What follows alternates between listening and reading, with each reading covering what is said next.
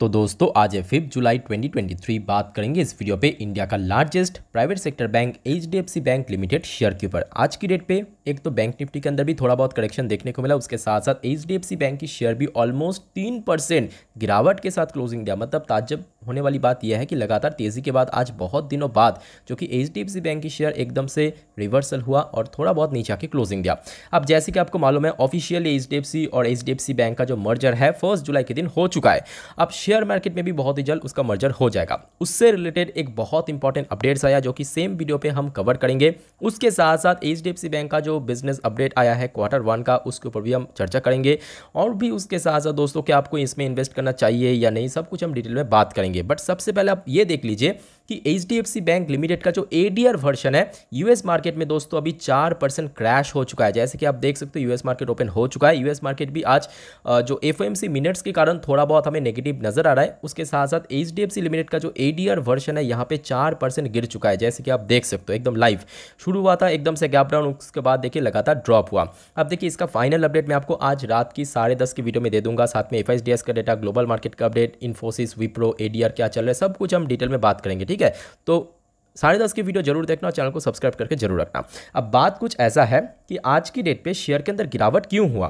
क्योंकि आज देखिए HDFC बैंक का जो बिज़नेस का अपडेट क्वार्टर वन का, वो आउट हुआ। जैसे कि हर एक बैंक्स या फाइनेंशियल इंस्टीट्यूशन कंपनीज़ का आउट हो रहा है। दो दिन पहले हमने देखा था बजाज फाइनेंस का आउट हुआ था।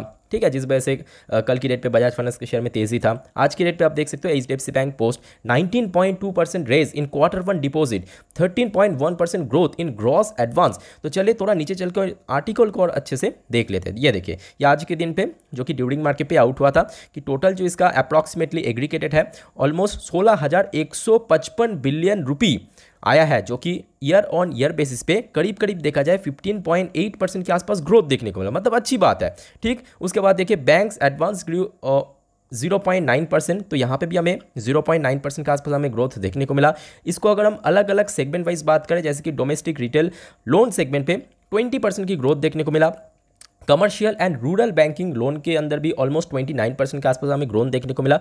तो बेसिकली ओवरऑल अगर हम बात करें, देखिए, अच्छी अपडेट आया बट गिरावट क्यों हो गया? क्योंकि गिरावट होने वाली तो कुछ बात नहीं है। गिरावट होने वाली बात इसीलिए है क्योंकि जैसे कि आपको मालूम है कि अभी HDFC और HDFC बैंक मर्ज हो चुका है राइट अब देखिए, उसके बाद जब कंपनी का नंबर्स आएगा, वो एक साथ आएगा। तो जिस वजह से, इस बेसिस पे मतलब अगर हम बात करें, यहाँ पे आप देख सकते हो जो पॉइंट्स मेंशन किया, बहुत ही वैल्यूएबल देख लीजिए। Gross advance were up thirteen point one percent year on year basis पे। ये कौन सा मैं बोल रहा हूँ? दोनों एक साथ। मर्च एंटाइटी का। ये नंबर्स आउट हुआ आज के डेट पे। बट उसके साथ साथ देखिए क्वार्टर ऑन क्वार्टर बेस पे बहुत ही minimum zero point seven percent ठीक है? टोटल अगर हम बात करें जो एडवांस ग्रॉस है, वो लगभग 22.45 लाख करोड़ आ सकता है। तो मतलब जो ग्रोथ है ईयर ऑन ईयर बेसिस पे श्रिंक होगा क्वार्टर ऑन क्वार्टर बेसिस पे एकदम ही फ्लैट रह जाएगा। बाकी बात करें कि deposits agriculture approximately 20.63 lakh crore, जो कि ईयर ऑन ईयर बेसिस पे same to same 16.2 percent but quarter on quarter basis पे बहुत ही मिनिमम 1.2 परसेंट तो जिस वजह से आज की डेट पे ये शेयर के अंदर गिरावट हुआ, सिर्फ़ ये नहीं मतलब एचडीएफसी बैंक नहीं, अगर आप देखोगे आज की डेट पे, ना केवल एचडीएफसी बैंक बल्कि एच की शेयर भी ऑलमोस्ट तीन परसेंट के करीब करीब करीब 2.94 परसेंट गिरावट के साथ क्लोजिंग दिया। होपफुली आपको अच्छे से समझ आ गया कि क्यों आज शेयर्स के अंदर अचानक से गिरावट देखने को मिला, वो भी एकदम शुरू से ही, क्योंकि आज एच बैंक का नंबर आउट हुआ सेल्स का क्वार्टर वन का, और उसके साथ साथ जो मर्च एंटाइटी का भी नंबर आउट हुआ। तो उस बेसिस पे हमें देखने को मिला कि मर्च एंटाइटी का जो नंबर्स है, वो कहीं हद तक जो एक्सपेक्टेशन से कम ग्रो किया। जिस वजह से आज शेयर के अंदर गिरावट हुआ, और अभी का आप देख सकते हो इंपॉर्टेंट अपडेट्स यह है कि देखिए एकदम latest update H D F C bank का जो एडीआर वर्जन है, वहाँ पे 4.24 परसेंट के आसपास हमें ड्रॉप हो चुका है तो इसका भी इंपैक्ट कहने के आपको कल देखने को मिलेगा। अब बात जो ये है कि इसका जो लेटेस्ट अपडेट है कि इसका शेयर मार्केट में कब लास्ट डेट है, सब कुछ यहाँ पे डिटेल में आ चुका है। ये देखिए, ये बाज़ार क्लोज होने के बाद का एकदम लेटेस्ट अपडेट है, चार बज के सैंतालीस मिनट का। तो देखिए July twelve fixed as HDFC last day on stock exchange तो एच जो कंपनी है, ये लास्ट डे ट्रेडिंग होगा 12 जुलाई को, क्योंकि थर्टीन ऑफ़ जुलाई हमने देखा था, इसका जो रिकॉर्ड डेट रखा गया था। यहाँ पे आप देख सकते हो क्लियर कट मेंशन किया कि इसका जो टोटल साइज़ है 64 बिलियन डॉलर एच का वैल्यूशन आज की डेट पे, वो लास्ट टाइम ट्रेड होगा ट्वेल्व ऑफ़ जुलाई के दिन, क्योंकि थर्टीन ऑफ़ जुलाई इसका रिकॉर्डेड रखा गया, ठीक है? तो जिस वजह से अगर आपको खरीदना है, आप last time H D F C को ट्वेल्व ऑफ़ जुलाई खरीद सकते हो, उसके बाद थर्टीन जुलाई से ये गायब हो जाएगा। गायब हो जाएगा मतलब एकदम से डिलिस्ट हो जाएगा। अब आप पूछोगे, ये सिंगल एंडेड इसमें कब एक साथ ट्रेड होगा? तो मैं आपको थोड़ा कैलेंडर पर दिखा देता हूँ, आपको समझने में ईजी होगा। ये देखिए।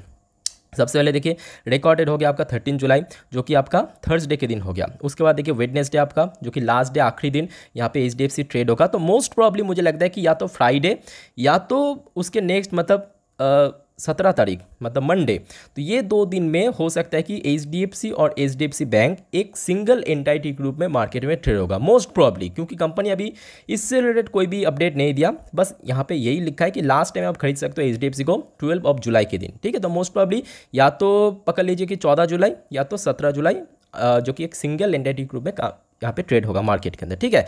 उसके साथ साथ देखिए, और भी बहुत सारे इंपॉर्टेंट अपडेट्स हैं। सबसे हम बात करेंगे आज की डेट पे। देखिए, भले ही शेयर के अंदर गिरावट ज़रूर हुआ बट ऐसा नहीं है कि लोग, देखिए, पैसा लेके बैठा है, कभी भी गिरावट होगा, खरीद लेगा। जो जिस वजह से, देखिए, इसका जो गिरावट होने के बाद भी जो कल के लिए मतलब थर्सडे के लिए पाँच हज़ार एक सौ सतानबे क्वान्टिटी का शेयर अभी से ए मॉडल लग चुका है। बाकी बात करें आज की डेट पे, कारोबार भी काफ़ी स्ट्रॉन्ग देखने को मिला। चाहे डिलीवरी की बात करें, चाहे वॉल्यूम की बात करें, या डिलीवरेबल परसेंटेज की बात करें। क्योंकि अक्सर हमने देखा एच डी बैंक की शेयर में इतना ज़्यादा डिलीवरी मतलब वॉल्यूम भी नहीं होता डिलीवरी भी नहीं होता। एक करोड़ क्रॉस कर चुका है, एक करोड़ पचासी लाख, जिसके अंदर डिलीवरी का नंबर देखने को मिला 94 लाख के ऊपर।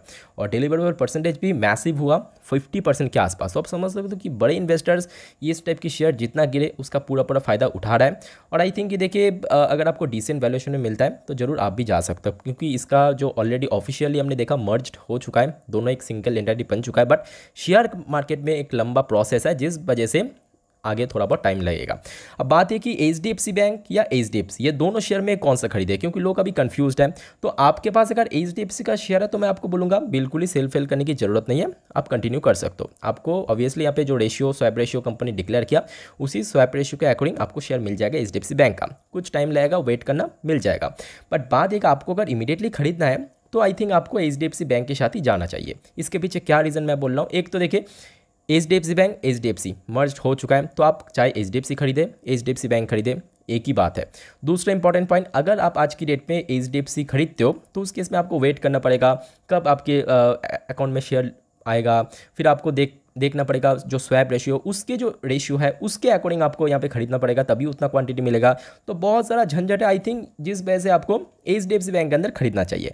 अब बात ये कि क्या अभी जो प्राइस चल रहा है, इसी प्राइस में खरीदना चाहिए। तो आई थिंक देखिए पर्पस आपका क्या है? वो आपके ऊपर डिपेंड करता है। सबसे पहली बात तो जिस, जो चीज़ हमेशा मैं बोलता हूँ कि इस टाइप की शेयर अगर आपने खरीदारी किया तो ऑब्वियसली लॉन्ग टर्म की पॉइंट ऑफ़ व्यू से लिख के ही चलना, क्योंकि शॉर्ट टर्म में कुछ भी हो सकता है। हो सकता है कि लास्ट एक महीने पे शेयर काफ़ी अच्छा रिटर्न दिया। एक बड़े बैंक के अकॉर्डिंग अगर हम बात करें, एकदम बॉटम से लेकर टॉप तक ये शेयर अगर आप देखोगे, बहुत अच्छा रिटर्न दिया। मतलब यहाँ पर आप देख सकते हो, आठ से नौ परसेंट का रिटर्न मतलब कुछ ही हफ्तों के भीतर भीतर बहुत बड़ी बात है।